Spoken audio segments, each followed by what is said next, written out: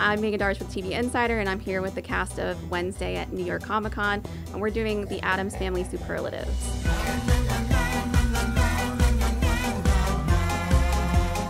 So, I would like to know who is the mom of this group? Al. Any any elaboration or no? Leave it at there. who is the biggest scaredy cat?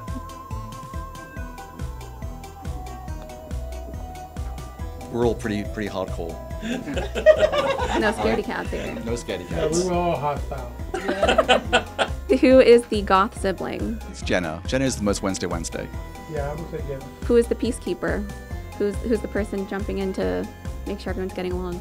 The angel to my left. Gwendoline. Gwendoline. Her name is Gwendoline Gwendoline. Christie. Al. it's Al. Who is the most fashionable? Gwendoline. Gwendoline. Yeah. I would agree. Oh. No. Who has the best signature look? Who, you know, Wednesday she has her braids. What's what's somebody's uh, best signature look on the show?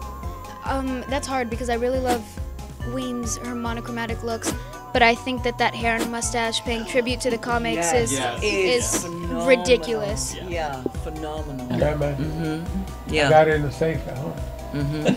Who is the creepiest, the kookiest, most mysterious, spookiest, and altogether ookiest? Tim Burton. Yeah, I would have to say, that goes to Perfect. Yes. Yes. I'd say his dog Levi. And Levi. Yeah, oh, yeah. Levi, yeah.